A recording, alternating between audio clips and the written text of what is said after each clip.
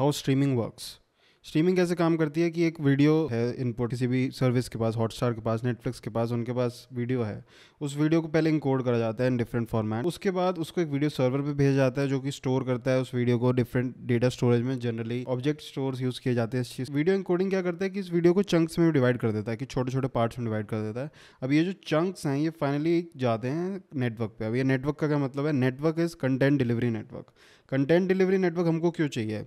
अब सपोज़ करो कि एक इंसान कोई इंडिया में बैठा है, कोई यूएस में बैठा है। पर जो डेटा ये जो तुम्हारा स्टोर्ड वीडियो है, ये तुम्हारी इंडिया लोकेशन पे कहीं स्टोर्ड है। तो जो बंदा यूएस में बैठा है, उसको ये डेटा जो जब वो स्ट्रीम कर रहा है तो इंडिया से वहाँ तक लेके जाना पड़ेगा। तो बेसिकली ओवर द नेटवर्क जो टाइम लगेगा to travel the data from India to US वो काफ़ी ज़्यादा होगा।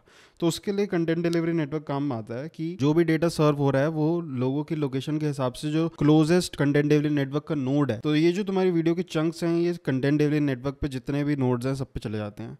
उसके बाद फाइनली एंड यूज़र को जब जब वो माँगता है तो ये कंटेंट डिलीवरी नेटवर्क से डेटा सर्व हो जाता है। बट अब इसके अंदर प्रॉब्लम क्या है? इसके अंदर प्रॉब्लम ये है कि सपोज़ कि एक फ़ीड आ रही है तुम्हारे पास। कंप्लीट वीडियो डिफरेंट चंक्स में टूट के आ रही है। अब ये सीडीएन के डिफरेंट डिवाइसेज हैं और तुम सपोज़ ये हो, तुम कनेक्टेड हो एक सी डिवाइस से जिसको, जिससे तुम्हारे को डेटा मिल रहा है। पर अब इशू क्या है कि ये जो चंक्स हैं सपोज़ ये ऑर्डर में नहीं आ रहे। जो थर्ड चंक है वो पहले आ गया, फिर फ़र्स्ट चंक आया तो ये डिफरेंट ऑर्डर्स में आ रहे हैं।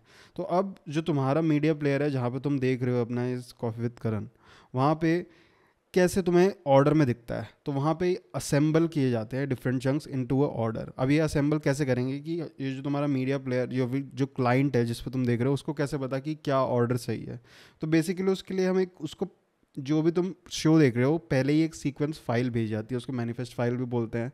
जिससे क्या होता है कि उस मैनिफेस्ट फ़ाइल में चंक्स के आईडीज़ और उनका सीक्वेंस लिखा होता है। तो जैसे ये चंक्स आते हैं, ये जो तुम्हारा क्लाइंट है, ये सीक्वेंस फ़ाइल को रीड करता है चंक्स देखता है कि कौन से ऑर्डर में लगाना है, उनको ऑर्डर में लगाता है और फाइनली तुमको जो स्ट्रीम दिखती है, उसमें तुम्हें प्रॉपर ऑर्डर में ही दिखता है जो दिखता है।